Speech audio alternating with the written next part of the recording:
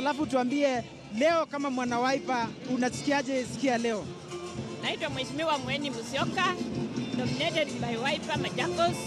Nasikia raha kwa sababu tunataka kupindua hii serikali ichukuliwe na Laila Kalonzo akiwa mdogo yake, na tutakuwa katikati ya NASA ya yeah.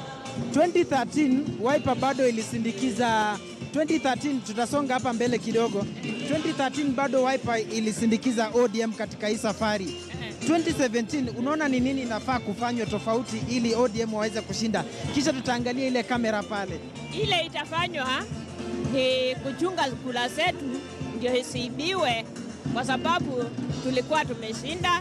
Ile kitu ilifanyika ni kuibiwa kura, hakuna kitu ingine ya Lakini Ukambani tunaona kuna Chapchap, kuna vyama zingine CCU, kuna Wiper.